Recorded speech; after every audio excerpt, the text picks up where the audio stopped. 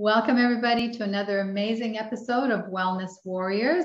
Today, I have a very special guest, Sharon Brock. We met at a conference a couple of years ago, a women's conference. And uh, at the time, Sharon was on her healing journey. So we definitely had a lot to talk about. And now she's post journey, her healing journey is behind her. And she's written an amazing book called The Lovey Method. And we'll talk about what each of those le- letters stand for. Um, Sharon is a certified mindfulness facilitator trained at UCLA Mindful Awareness Research Center.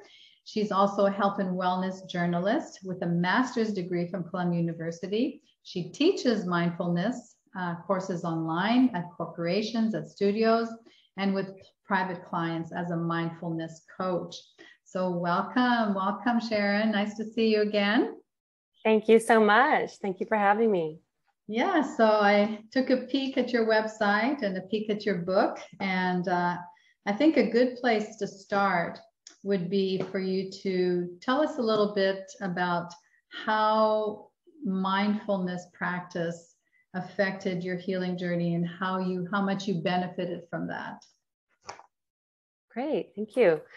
Yes, yeah, so uh, right at the start of my book, I talk about the how devastated I was after a diagnosis. I mean, here I was, a health and wellness journalist and a yoga teacher, mindfulness teacher, and you know, I, I identified with being a healthy person and not the sick person, and um, it was it was really really challenging. My anxiety just went through the roof, and um, yeah i i suddenly shifted from meditating here and here and there to every single day multiple hours a day um, just to kind of find some relief from this anxiety. And the benefit of that was that i was creating this habit of this daily meditation and creating some space in between my mind like the observer mind and my anxiety and so i was able to kind of flex my mindfulness muscle right? And um, learn how to manage my my emotions during this time. And that's so important i know with uh, our community. You know, they understand essential number four to heal the emotional wounds and how important it is to get into the parasympathetic mode because we can't heal if we feel like we're being chased by a saber-toothed tiger, right? And that's how most of us operate every day, right? Unless we make that conscious effort to get into the mindfulness mode. As a matter of fact, one of the books that we're going through now in our uh, coaching program is uh, Shauna Shapiro's book, Good Morning, I Love You. I don't know if you're familiar with, with her, but yeah, she's really, I love her, her approach about mindfulness. So let's talk a little bit about the neuroscience of stress versus mindfulness. What happens to our body when we're under stress versus when we are mindful and uh, calmer and meditating? Absolutely. So, just so everyone knows, um, I used to be a high school biology teacher. And so there's a lot of biology and neuroscience, and everything is backed up by, by research in my book. And um, Essentially, when we're triggered and we have the stress response, and what happens is we have the amygdala, which is a tiny little organ about almond shape right in between the ears. So it's in the brain and it's triggered like a light switch whenever we feel that we are threatened in any way. And so the problem with the amygdala is that that switch can get flipped really easily because it's essentially our reptilian brain. The amygdala was evolved even before humans evolved on the planet. So we need to recognize that when our amygdala is flipped, we go into fight or flight. We're not, we're like operating as if, you know, we're that we're not from operating from our wise part of our brains, right? And so what mindfulness does, and they've proved this in the at the UCLA Mindful Awareness Research Center, is that all we need to do is label something, label this emotion, like anxiety is here. And in the lab at UCLA, they, they, they showed that the activity in the brain shifted from the amygdala to the prefrontal cortex. And so that's actually what the first letter of Lovey is, is labeling. So the, what we're doing with the label practice, we're all we're doing is shifting our consciousness from this fight or flight, very ancient part of our brains, to our prefrontal cortex, which is right behind the forehead. And that's and then we're able to be rational and reasonable and problem solve. And it's our wisdom brain. It's also our compassion brain part of our brain and so then we can actually interact with our doctors and nurses and join in be a part of our healing team right like you want to get your mind on your healing team mm-hmm. be a mm-hmm. part of these decisions that are so critical to our lives mm-hmm. rather than just be in a state of chaos all the time and um, and then so once so back to the uh, kind of the physiology of stress when the amygdala is flipped i mean obviously it's a cascade of biological responses that happen like throughout the body the, the tension the inflammation the adrenaline. So you know your adrenals get shot. Because um, essentially you you need to prepare your body to run from the tiger right but it's not until we shift from the amygdala to the prefrontal cortex where we're thinking, okay, it's not a tiger running after me. It's just this diagnosis, or it's just having chemo tomorrow. You know, it's just it's just my mind saying, what if this happens? What if that happens? What if, what if, what if, what if? I call it the what if software of the mind, right? and we can label it. Oh, okay, what if software of the mind is here? Here it is and just putting a label on it. And you can go through the, the Lovey method with that. And um, so essentially, when we, sh- this mindfulness practice shifts us to our prefrontal cortex and allows us, which also calms down the body as well. So shifts you from the sympathetic to the parasympathetic. And the whole body relaxes. And then you're able to make those wise decisions as well as your body is able to heal because you can relax enough. The lion is not coming after you. You can relax enough for the body's natural intelligence to kick in. Okay, so L is to label the practice. So that means yes. So we give our our anxiety or stress or our feelings, we we label it, we give it a name so that we're saying, okay, I'm I'm really stressed right now, or I'm feeling really anxious. Is that's what you're referring to? Label the practice. Yeah. And one of the keys is instead of using I am anxious, you mm-hmm. would just say anxiety is here. Okay. Because the idea is that you're not identifying with it. That's great. And you're just seeing it as just this kind of natural phenomenon. You know, emotions are just energies in motion. Right. We don't have to identify with it. And they come and they go. Right. And that is actually and it creates a little space, a little perspective. Mm-hmm. If you say, I am anxious, it's in me, right? Mm-hmm. Versus anxiety is here. It's almost like there's a little bit of a gap in between. I love that. Because when I when we talk about the breast cancer tumor, we don't say my tumor or my right. breast cancer. We say the cancer, the tumor. Yeah. And you don't own it, right? It's not part of you. It's just transient and it'll be here and gone. And just that little tiny little tweak, just how that affects your nervous system, right? Mm-hmm. You disidentify. And so actually that does go into oh quite oh. nicely. Okay. Observe. yes. Observe so you yeah. So you're saying um anxiety is here, you've labeled it, and then you observe this emotion. You just let it be here. You're not pushing it away, you're not judging yourself for having it just let letting it be what letting letting it do whatever it needs to do. Whether it's get really strong and then it passes. So with enough uh, the observed practice is kind of the classic meditation practice of buddhism. So just so everyone knows mindfulness stems from buddhism. It's you can kind of think of it as like the secular arm of buddhism Um, so anyone can practice it regardless of what religion you practice. Um, it's just working with the mind as opposed to necessarily a spiritual practice. So, with the observe practice, it's the classic mindfulness uh, practice in which you take the seat of the observing consciousness and you're just watching your mind as if as if you're watching a movie you're getting pers- like as if you're you know like third person like bird's eye view almost. Mm-hmm. and you're just letting these emotions come and go like clouds passing in the sky. Because you know that your emotions are simply energies in motion and they're going to come and they're going to go.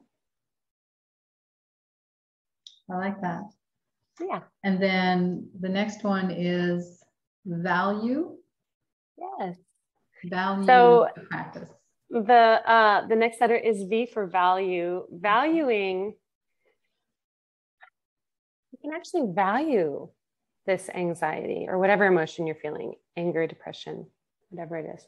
You can value it because it actually connects you to every other person on this planet who is feeling anxiety right now as well. Like you're not alone in feeling this. And it's a it's a natural normal emotion for emotions to have for humans to have right? So the value practice really helps you to stop beating yourself up because so many there's so much messaging of like ah oh, why do i have to be anxious again? I'm such a jerk you know? You're just kind of adding insult to injury. You're just mm-hmm. creating more suffering by judging yourself. And so the value practice kind of gives yourself a break like okay you know i'm going through a hard time.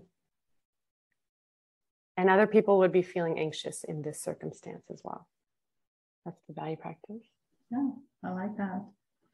And then the next one is e embrace. Yeah yeah. So the fourth one is my favorite one. Embrace. Embrace practice. So what do you do what you do here is you take that emotion and you give it a hug. You embrace it and so I'm also a trained mindful self compassion teacher, which is a training out of UC San Diego. And there's a, a whole, mu- whole lot of research that talks about rather than pushing away our emotions, we can actually not just observe it and value it, but actually give it some love and say, like, I got you. You know, what do you need, sweetheart? So you're you're being the loving parent to this little anxiety, like it's a little child. And what happens is it's amazing. It, that energy, again, it's energy in motion, right? It integrates into the body. It integrates. The way I think of it is there's your compassion mind is the ocean, and this anxiety is one little drop. Mm. It's it's beautiful. It's beautiful. That's when we get to love ourselves. And then the last one Equanimity.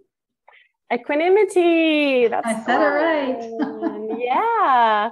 So I had to, I know love is misspelled, but I had to add this final E because the truth is, is the equanimity, which is essentially non-reactivity. Like, you know, that's the easy definition. Equanimity is the kind of the goal of mind of the Loving method and all of mindfulness in general. And the reason why is because the more we react to any given circumstance, the more we will suffer. Mm. And the less we react, the less we will suffer. And I will say, like, if you don't get anything else out of this podcast, but just this one sentence, this is the most important thing. The biggest breakthrough I had through you know my years with cancer is that it wasn't having cancer in my body that caused my suffering. It was my reaction to having cancer mm. that caused my suffering. And so when i practiced a tool such as the equanimity mindfulness tool it reduced my re- reactivity and my suffering reduced. Even when I still had cancer in my body, right? Even when my circumstance hadn't changed at all, all I had changed was my relationship to my circumstance. Mm-hmm. So important. So important. Yeah. Because, you know, what, what when you get that that diagnosis, you're flooded with all kinds of pictures and images and emotions of you know women bald-headed sick dying you know all of that. And you know all these thoughts in just a few seconds. And it's really a traumatic moment for m- most women. And so to be able to really pull yourself away from that reaction and calm your body down. And you know one of the goals that we have in our community is to teach women you know to never fear cancer again because once you understand what cancer is, what it's not, and you can learn to manage it, and you have a large measure of control over how your body feels and heals, um, you know, cancer doesn't have to be a scary word. 100%. That's right. That's right.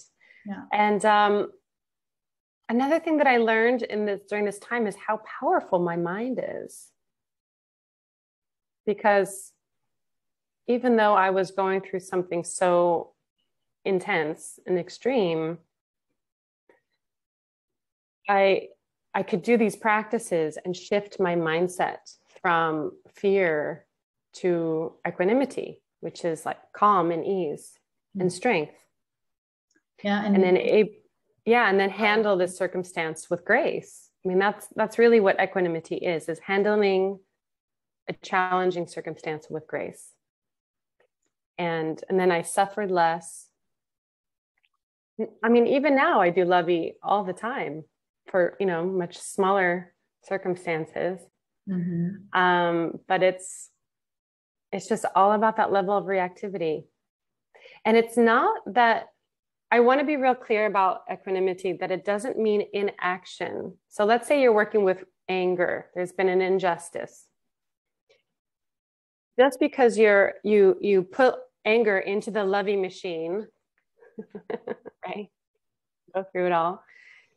Just because you're cultivating this non-reactive mindset it doesn't mean you just sit back and don't do anything. You know you still go to that protest you still take action whatever it is. You still have that hard conversation but you're going into action from your wisdom brain rather than your amygdala right? I, I, think i'd rather be operating from my human brain rather than my like lizard brain. Right exactly. Brain. yeah. before we started before we started recording you shared something with me about your mm. healing journey. Um, and i think it's very very powerful for our community to hear. So you chose the traditional route and you went through some chemotherapy.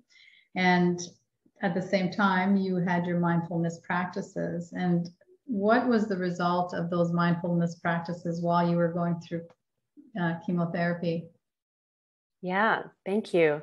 I um I mean this is like spoiler spoiler alert for the book. but it's it's it was a really incredible surprise and so profound in the mind body connection because what happened was um, yes i you know i was doing my chemo treatments every three weeks for a year. And um, my doctor said that the side effects were supposed to be cumulative, cumulative, meaning that they'll get worse and worse as as we went along. And I, I was doing my mindfulness practices and you know giving so much love and compassion to my my entire body like down to the cellular level particularly just appreciation for my organs for working so hard and really shifting my entire body from the sympathetic into the parasympathetic.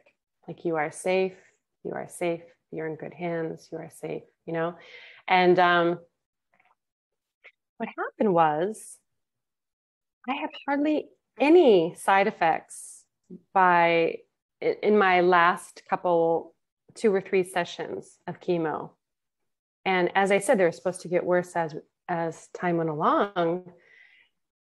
And it was it, it felt like a miracle. Like I was like bracing myself for the side effects. And but I had cultivated so much equanimity, non-reactivity, that if I had side effects, I was okay. And if I didn't have side effects, I was okay. Right. That's the whole thing. You're able to roll with it. That's mm-hmm. another kind of way to think about equanimity. I'm I'm able to roll with it. Whatever happens, I can deal with it. You know, either way, I'm cool. Yeah. and um, but that was such a shocking surprise that I actually didn't have physical side effects either. And I think that was well, I know, at least in my body, that was really kind of evidence of the power of the mindfulness practices and the loving method that it wasn't just calming my mind, it was also calming my body and shifting it into the parasympathetic so that it could heal and allow the chemotherapy to work even better. Yeah, that's a powerful, powerful testament to uh, to the work that you're doing and to your method. So Thank very, you. very happy for you and very proud of you for for doing all that and putting the work in. You know, because it's it's not something that uh, you just start one day and you're really good at it right? It's something that you cultivate and you you know you really little by little. work work at it so. Yeah. Well um, do you have any parting words of wisdom for women that are on an active healing journey? Mm.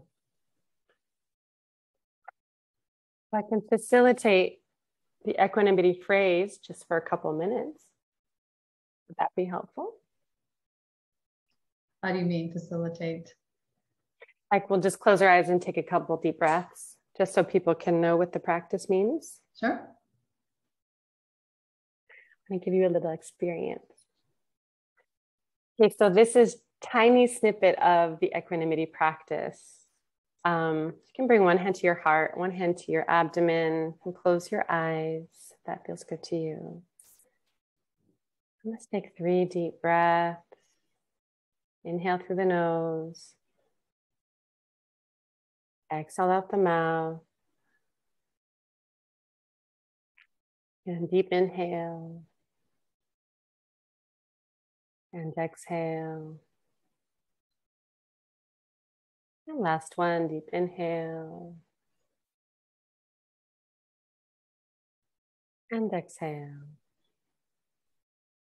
Releasing both hands down to the lap. Breathing in and out through the nose naturally. So how we cultivate non reactivity is by releasing all resistance to our circumstance, full acceptance of our circumstance. So we repeat the phrase Things are as they are. May I accept things just as they are. Things are as they are.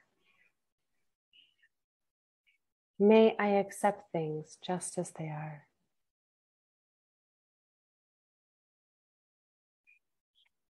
Continue to repeat the equanimity phrase for another 30 seconds in your mind.